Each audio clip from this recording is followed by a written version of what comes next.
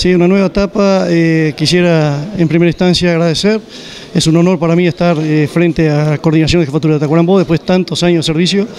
Y también agradecerle al comando por incluirme en el, equipo de trabajo ahora, de ahora en más. y bueno, agradecerle al señor jefe, agradecerle a, bueno, al ministro, al Ministerio Interior que me nombró y agradecerle a los oficiales que están compañeros de trabajo, al personal subalterno que ha cumplido con su misión y me ha, y me ha respaldado siempre en todo momento, lo que conllevó al trabajo que hicimos en conjunto a que hoy pudiera ser reconocido y tomado en cuenta para ocupar este cargo. ¿Cuáles son las principales orientaciones o los propósitos para tu gestión?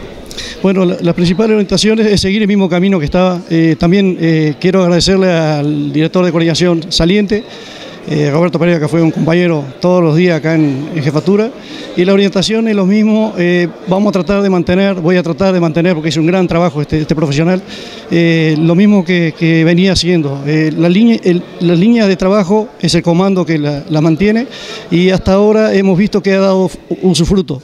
Vamos a mantener el, el trabajo que estaba haciendo. Tratar. Tacuarembó tiene una gran extensión territorial, es mucho trabajo que tenés por delante en la coordinación. Sí, eh, tengo trabajo, como decía, cambia, es una dedicación total, 24 horas por día, pero llevo muchos años en jefatura de policía de Tacuarembó, conozco todo el territorio y, sé lo que me, que me va a esperar y creo que estoy preparado para eso. Tomando en cuenta que conocés el territorio, eh, las infraestructuras, el personal. Eh, ¿Vas a hacer hincapié en trabajar en alguna zona más en particular? Eh, ¿Qué nos puede decir en relación a, eso? Y bueno, y también aquí en nuestra capital departamental, ¿qué se puede esperar en relación a, ese trabajo? Eh, como le dije anteriormente, el lineamiento de trabajo está dado, estamos incrementando patrullaje todos los días, de día, noche, tarde, ha dado resultado acá en, la capital y también se ha potenciado ahora con una tanda que, que salió recientemente a la gente a la gente. Digo. El territorio es grande, pero sí tenemos profesionales en el territorio y el personal es un personal eh, sacrificado y siempre ha respondido a, nuestro, a, nuestra, a nuestra trayectoria y a nuestra eh, planificación de trabajo. En relación al patrullaje, también vemos gran resultado con el operativo alto impacto. ¿Es algo que va a continuar?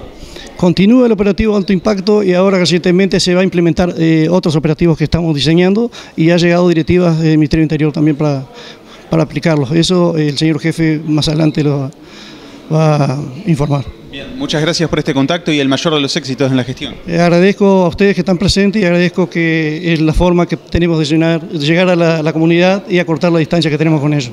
Bueno, los propósitos en realidad nos vienen demarcados del señor jefe y del Estado Mayor General y una vez que tengamos esos lineamientos los vamos a hacer llegar a, a las diferentes unidades que corresponden a la jefatura.